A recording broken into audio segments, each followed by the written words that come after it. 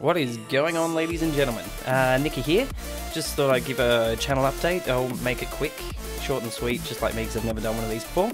Uh, just to let you guys know that there will probably be no streams for the next three weeks until about the 22nd of October because I'll be uh, going away, seeing family and whatnot. So, yeah, just no streams for the next few weeks. But the plan is to try edit a few videos and get some up like the best bits of and a bit of Overwatch, a bit of Destiny, stuff like that.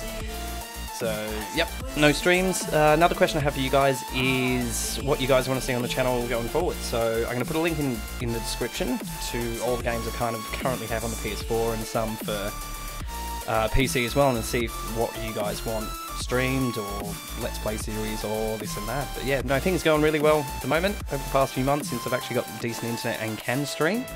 Another thing that's uh, coming to the channel soon is I'll be doing some other dual streams with a good who's also a YouTuber, Wildhammer99, and either do some Let's Plays, some streams, stuff like that, which should be pretty fun. So thanks for all the support on the streams and everything. You guys have been fucking awesome. And I'll see you guys when I get back.